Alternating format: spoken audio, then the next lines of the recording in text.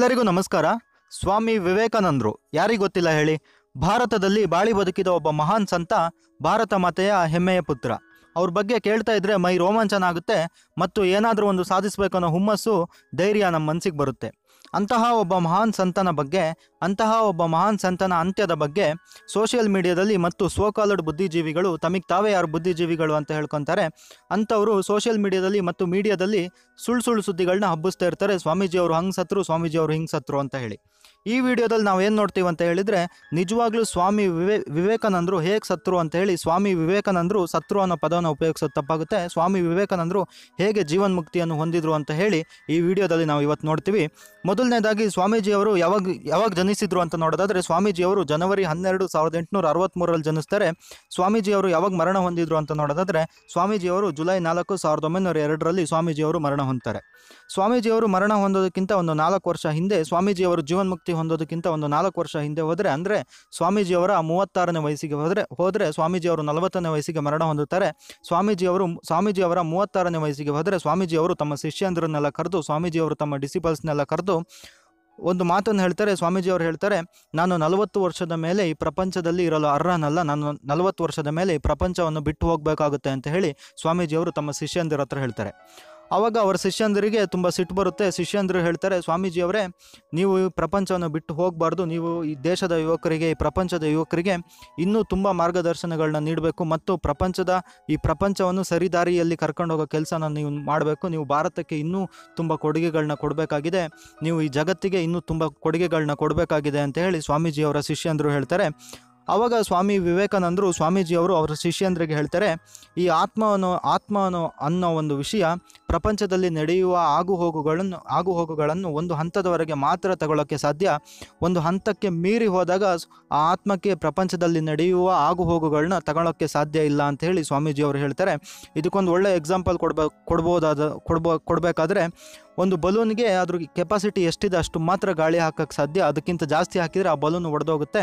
ಹಾಗೆ ಆತ್ಮನು ಅನ್ನೋ ಒಂದು ವಿಚಾರ ಕೂಡ ಪ್ರಪಂಚದಲ್ಲಿ ನಡೆಯುವ ಆಗು ಹೋಗುಗಳನ್ನ ಎಷ್ಟು ತಗೊಳ್ಳೋದಕ್ಕೆ, ಅದ್ರ ಸಾಮರ್ಥ್ಯ ಎಷ್ಟಿರುತ್ತೋ ಅಷ್ಟು ಮಾತ್ರ ತಗೊಳ್ಳೋಕ್ಕೆ ಸಾಧ್ಯ ಅಂತ ಹೇಳಿ ಸ್ವಾಮೀಜಿಯವರು ತಮ್ಮ ಶಿಷ್ಯಂದರಿಗೆ ಹೇಳ್ತಾರೆ. ಅದು ಅಲ್ಲದೆ ನಾನು ಈ ಪ್ರಪಂಚಕ್ಕೆ ಏನೇನು ಕೊಡಬೇಕು ಅಂದ್ಕೊಂಡಿದ್ನೋ ಅದನ್ನೆಲ್ಲ ಈಗಾಗಲೇ ಕೊಟ್ಟಿದ್ದೀನಿ ಅಂತ ಹೇಳಿ ಸ್ವಾಮೀಜಿಯವರು ಅವರ ಶಿಷ್ಯಂದರಿಗೆ ಹೇಳ್ತಾರೆ. ನಿಮಗೆಲ್ಲ ಗೊತ್ತು, ಯೋಗ ಅನ್ನೋದು ಒಂದು ಇರ್ರೆಸ್ಪೆಕ್ಟ್ ಇರ್ರೆಸ್ಪೆಕ್ಟಿವ್ ಆಫ್ ರಿಲಿಜಿಯನ್ ಪ್ರಪಂಚದ ಎಲ್ಲ ರಿಲಿಜಿಯನ್ನು ಎಲ್ಲ ಮತದವರು, ಎಲ್ಲ ಧರ್ಮದವರು, ಎಲ್ಲ ಜಾತಿಯವರು ರೆಸ್ಪೆಕ್ಟ್ ಎಲ್ಲ ದೇಶದವರು ಇಡೀ ಪ್ರಪಂಚನೇ ರೆಸ್ಪೆಕ್ಟ್ ರೆಸ್ಪೆಕ್ಟ್ ಕೊಡೋ ಒಂದು ವಿಚಾರ ಅಂದರೆ ಏನ, ವಿಚಾರ ಏನಪ್ಪ ಅಂತ ಏನಪ್ಪ ಅಂತ ಹೇಳಿದರೆ ಅದು ಯೋಗ. ಈ ಯೋಗದಿಂದಲೇ ಸ್ವಾಮೀಜಿಯವರು ಅವರ ದೇಹದಿಂದ ಅವ್ರನ್ನ ಲಿಬರೇಟ್ ಮಾಡ್ಕೊತಾರೆ, ಅಂದರೆ ಜೀವನ್ಮುಕ್ತಿಯನ್ನು ಹೊಂದುತ್ತಾರೆ. ಅದು ಹೇಗೆ ನಡೀತು ಅಂತ ನೋಡೋದಾದರೆ ಸ್ವಾಮೀಜಿಯವರು ಮರಣ ಹೊಂದು, ಹೊಂದುವ ದಿನ, ಸ್ವಾಮೀಜಿಯವರು ಜೀವನ್ಮುಕ್ತಿ ಹೊಂದುವ ದಿನ ಅಂದರೆ ಜುಲೈ ನಾಲ್ಕು ಸಾವಿರದ ಒಂಬೈನೂರ ಎರಡು, ಒಂದು ಏಳು ಗಂಟೆ ಸುಮಾರಿಗೆ ಸ್ವಾಮೀಜಿಯವರು ವೇದಾಂತ ಕಾಲೇಜಿಗೆ ಬರ್ತಾರೆ. ವೇದಾಂತ ಕಾಲೇಜಿಗೆ ಬಂದು ಅವರ ಶಿಷ್ಯಂದರನ್ನೆಲ್ಲ ಕರೆದು ಸುಮಾರು ಹೊತ್ತು ಪಾಠ ಮಾಡ್ತಾರೆ, ಸುಮಾರು ಹೊತ್ತು ಪ್ರವಚನಗಳನ್ನ ಮಾಡ್ತಾರೆ. ಸುಮಾರು ಹೊತ್ತು ಪ್ರವಚನಗಳನ್ನೆಲ್ಲ ಮಾಡಿದ್ಮೇಲೆ ಸ್ವಾಮೀಜಿಯವರು, ನಾನು ರೂಮಿಗೆ ಹೋಗ್ತೀನಿ ಅಂತೇಳಿ ರೂಮಿಗೆ ಹೊರಟು ಹೋಗ್ತಾರೆ. ಅವರೊಬ್ಬ ಶಿಷ್ಯನ ಕರೆದು ಗಾಳಿ ಹಾಕಕ್ಕೆ ಹೇಳ್ತಾರೆ. ಗಾಳಿ ಸ್ವಲ್ಪ ಹೊತ್ತು ಗಾಳಿ ಹಾಕಿಸ್ಕೊಂಡ್ಮೇಲೆ ಅವರ ಶಿಷ್ಯನಿಗೆ ಹೇಳ್ತಾರೆ, ಸರಿ ಸಾಕು, ಗಾಳಿ ಹಾಕಿ ಸಾಕು, ನೀನು ಹೊರಗೆ ಹೋಗಿ ನಿಲ್ಲು ಅಂತ ಹೇಳಿ ಅವರ ಶಿಷ್ಯನಿಗೆ ಸ್ವಾಮೀಜಿಯವರು ಹೇಳ್ತಾರೆ. ಅವರ ಶಿಷ್ಯ ಅವರ ಶಿಷ್ಯ ಹೊರಗೆ ಹೋಗಿ ನಿಲ್ತಾರೆ. ಸ್ವಾಮೀಜಿಯವರು ಆಳವಾದ ಧ್ಯಾನಕ್ಕೆ ಹೋಗ್ತಾರೆ. ಆಳವಾದ ಧ್ಯಾನಕ್ಕೆ ಹೋಗಿ ತಮ್ಮ ಸಹಸ್ರ ಚಕ್ರವನ್ನು ಒಡೆದುಕೊಂಡು ಸ್ವಾಮೀಜಿಯವರು ಜೀವನ್ಮುಕ್ತಿಯನ್ನು ಹೊಂದುತ್ತಾರೆ. ಸಹಸ್ರ ಚಕ್ರ ಅಂದರೆ ನೆತ್ತಿಯಲ್ಲಿರೋ ಒಂದು ಚಕ್ರನ ಒಡೆದುಕೊಂಡು ಸ್ವಾಮೀಜಿಯವರು ಜೀವನ್ಮುಕ್ತಿಯನ್ನು ಹೊಂದುತ್ತಾರೆ. ಈ ಸಹಸ್ರ ಚಕ್ರ ಅಂದರೆ ಏನು ಅಂತ ಹೇಳಿ ಯೋಗ ಮಾಡೋರಿಗೆ ಗೊತ್ತಿರುತ್ತೆ. ಸ, ಈ ಸಹಸ್ರ ಚಕ್ರವನ್ನು ಒಡೆದುಕೊಂಡೇ ಸ್ವಾಮೀಜಿಯವರು ಜೀವನ್ಮುಕ್ತಿಯನ್ನು ಹೊಂದುತ್ತಾರೆ. ಮೋರ್ ದ್ಯಾನ್ ದಿಸ್ ಸ್ವಾಮೀಜಿಯವರಿಗೆ ಕ್ಯಾನ್ಸರ್ ಕೂಡ ಇತ್ತು. ಕ್ಯಾನ್ಸರ್ ಇದ್ದರೂ ಕೂಡ ಸ್ವಾಮೀಜಿಯವರು ಯೋಗದಿಂದಲೇ ತಮ್ಮ ತಮ್ಮ ದೇಹದಿಂದ ತಮ್ಮನ್ನೇ ಲಿಬರೇಟ್ ಮಾಡ್ಕೊಳ್ತಾರೆ ಜೀವನ್ಮುಕ್ತಿಯನ್ನು ಹೊಂದುತ್ತಾರೆ. ಸ್ವಾಮೀಜಿಯವರು ತುಂಬಾ ಹೊತ್ತು ಬರೋದನ್ನು ಗಮನಿಸಿದ ಅವರ ಶಿಷ್ಯಂದರು ಸ್ವಾಮೀಜಿಯವರ ರೂಮಿಗೆ ಹೋಗಿ ನೋಡ್ತಾರೆ. ಸ್ವಾಮೀಜಿಯವರು ಅಲ್ಲಿ ದೇಹ ತ್ಯಾಗ ಮಾಡಿರೋದು, ಸ್ವಾಮೀಜಿಯವರು ಅಲ್ಲಿ ತಮ್ಮ ದೇಹದಿಂದ ತಮ್ಮನ್ನೇ ಲಿಬರೇಟ್ ಮಾಡ್ಕೊಂಡಿರೋದು ಅವರ ಶಿಷ್ಯಂದ್ರಿಗೆ ಗೊತ್ತಾಗುತ್ತೆ ಅಥವಾ ಜೀವನ್ ಮುಕ್ತಿ ಹೊಂದಿರೋದು ಅವರ ಶಿಷ್ಯಂದ್ರಿಗೆ ಗೊತ್ತಾಗುತ್ತೆ. ಸ್ವಾಮೀಜಿ ಅವರನ್ನ ಚೆಕ್ ಮಾಡಿಸೋದಕ್ಕೆ ಅವರ ಶಿಷ್ಯಂದರು ಡಾಕ್ಟರ್ಸ್ನ ಕರೆಸ್ತಾರೆ. ಬಂದಿರೋ ಡಾಕ್ಟರ್ಸಿಗೂ ಶಾಕ್ ಆಗುತ್ತೆ. ಯಾಕಂತ ಹೇಳಿದ್ರೆ ಸ್ವಾಮೀಜಿ ಅವರ ಬ್ರೈನಲ್ಲಿ ಕೆಲವೊಂದು ನರಸು ಡ್ಯಾಮೇಜ್ ಆಗಿರುತ್ತೆ, ಕೆಲವೊಂದು ನರಸು ಒಡೆದೋಗಿರುತ್ತೆ ಮತ್ತು ಸ್ವಾಮೀಜಿಯವರು ಮೂಗಿಂದ ರಕ್ತ ಬಂದು ಸ್ವಾಮೀಜಿಯವರು ಮರಣ ಹೊಂದಿರ್ತಾರೆ.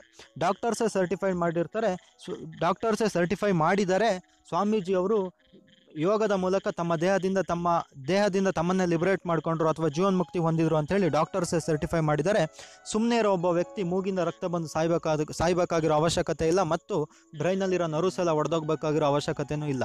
ತಮ್ಮ ನಲವತ್ತನೇ ವಯಸ್ಸಿಗೆ ಭಾರತ ದೇಶಕ್ಕೆ ಇಷ್ಟೆಲ್ಲ ಕೊಟ್ಟಂಥ ಒಬ್ಬ ವ್ಯಕ್ತಿ ತಮ್ಮ ನಲವತ್ತನೇ ವಯಸ್ಸಿಗೆ ಭಾರತ ಅಂದರೆ ಏನು ಅಂತ ಹೇಳಿ ಪ್ರಪಂಚಕ್ಕೆ ಗೊತ್ತಾಗುವಂಗೆ ಮಾಡಿರೋ ಒಬ್ಬ ವ್ಯಕ್ತಿಗೆ ಒಂದು ಪ್ರಾಪರ್ ಎಂಡ್ ಇದೆ ಅಂತ ಹೇಳಿ ನಾವೆಲ್ಲ ಖುಷಿ ಪಡಬೇಕು.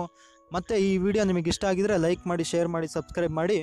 ಇದೇ ಥರ ನಿಮಗೆ ಬೇರೆ ಬೇರೆ ವೀಡಿಯೋಗಳು ಬೇಕಂದರೆ ಯಾವ ಟಾಪಿಕ್ ಬಗ್ಗೆ ಮಾತಾಡಬೇಕು, ಬೇರೆ ಟಾಪಿಕ್ ಬಗ್ಗೆ ಬಗ್ಗೆ ಮಾತಾಡಬೇಕು ಅಂತ ಹೇಳಿ ನಿಮಗೇನಾದ್ರು ಅನಿಸಿದರೆ ಕೆಳಗಡೆ ಕಮೆಂಟಲ್ಲಿ ಲೀವ್ ಮಾಡಿ ಅಂತ ಹೇಳಿ ಈ ವಿಡಿಯೋನ ಮುಗಿಸ್ತಾ ಇದ್ದೀನಿ. Thank you so much Jai Hind, Jai Karnataka